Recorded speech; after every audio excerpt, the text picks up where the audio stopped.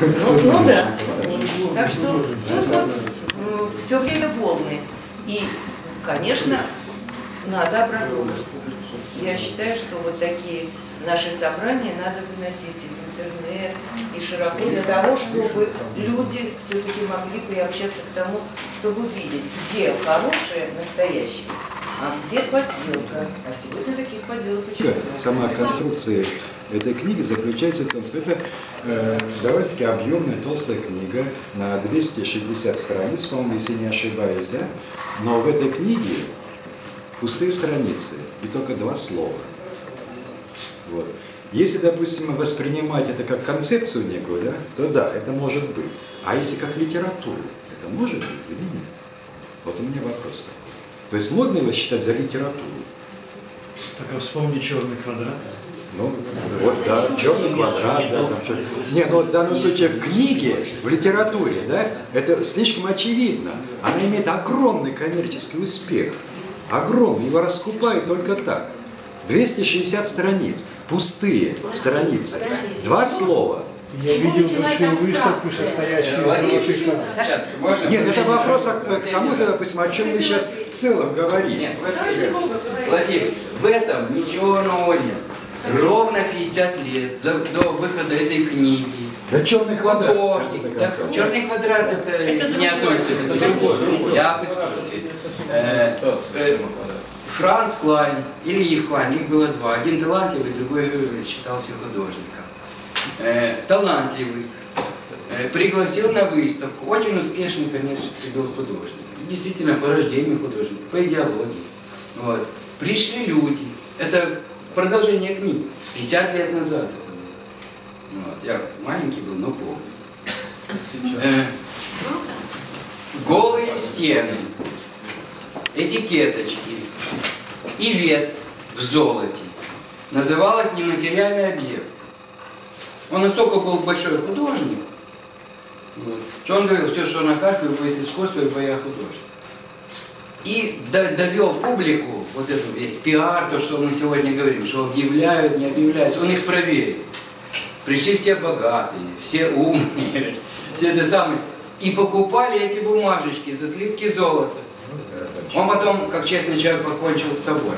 Так что эта книжка с пустыми страницами, это уже был... Вопрос не тот. Это подобных примеров, подобных примеров можно привести множество. Да? Но здесь вот стоит вопрос опять. Вот выход, ну, данный конкретный пример, один из примеров, да, про эту книгу. И здесь этот вопрос стоит. Существует хорошо или плохо? Это хорошо или плохо? Во-первых, вот я задаю такой вопрос. Я не знаю ответа на самом деле. И критерии оценки, нужны ли они? Вот такие. Я тоже не знаю ответа.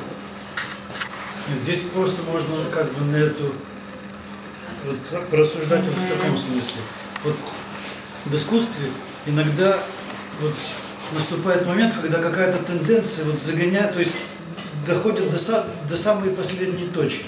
Это вот минимализм, доведенный до какой-то вот абсолютно до, до, до последнего предела. В принципе, то же самое черный квадрат, который тоже можно отнести к, минимали, к минимализму, который вот, как бы тот же самый Малевич, у него где-то он был фавистом, сначала был импрессионистом, потом проходил через все атеизм, потом стал, стал конструктивистом или там футу, с футуристическими этими делами.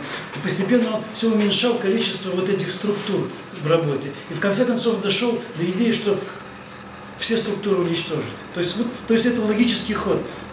Это как бы здесь виден путь, но какой цель он приводит, мне до конца непонятно. Но путь виден очевидно. То есть это так же, как, например, Джексон Поллок, он противоположную тенденцию довел до своего логического. То есть настолько насытил красками, которые, причем не рукотворными, а там из банок лилось, что вот больше этого уже более живописной живописи невозможно представить. Хотя следующие поколения могут, может быть, сделать именно минимализм еще минимальнее. И эту как бы барочность еще барочнее, может быть, я не знаю. Это просто вот по таким вот как бы вот казусам, это просто показывает какие-то конечные точки вот в процессе. Может быть, я точно не знаю. Может быть, начало. Может быть, начало. Каждый конец это начало. Нет, черный квадрат Малевича можно прочитать совершенно по-другому. Да как угодно Можно, его читать. можно. И Потому книгу что можно более прочитать. эмблематично, как Мы все примерно знаем, почему здесь нет других художников. А ты их не пригласил? Да. Нет, нет, это, не это мы их не пригласили. Потому что вот мы Я не посчитали... думаю, что они испугались. Нет, они совсем не испугались. Вот, вот мы так вот решили, там, допустим, да? Вот.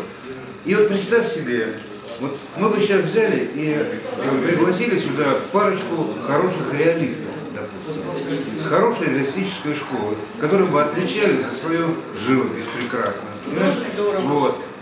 Вот, вот давайте подумаем на эту А тему. Но, но, но где их взять сейчас, вот этих живописцев? Реалистов. Много, я Почему? Чаркин говорит, Да Чаркин говорит. А вот ты бы пригласил кого-то из них? А что, они, они что-то такое да, новое что-то скажут? Да, да нет, ничего нового. Только о качестве разговор. Разговор Да. только о качестве. Вот понимаете, вот, А как определить качество, опять же? ну вот так же, как мы внутри себя определяем друг друга. Критерий качества, вот я не понимаю. Вопрос. Хороший результат, хорошая. Нет, ну это Что хорошо, что плохо. Вот допустим, ему хорошо, а мне плохо. И что? Тебе хорошо, мне плохо. И так и мы можем бесконечно эту тему рассуждать. Неужели вы хотите, Вот чтобы мне вам кажется, кто-то владелец- говорил, что владелец это хорошо, это да, Не хочу. Так о чем Видите,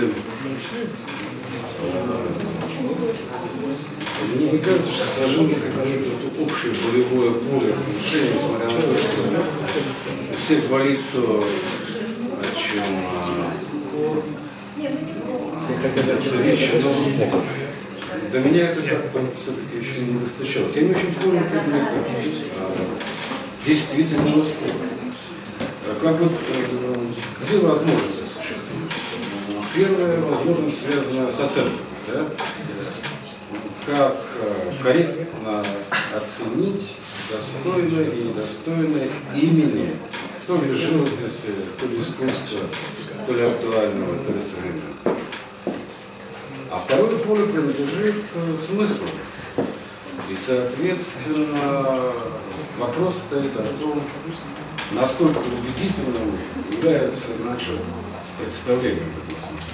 То есть действительно ли мы понимаем э, существо художнического дела, и можем ли мы это понимание обнаружить с достаточной убедительностью.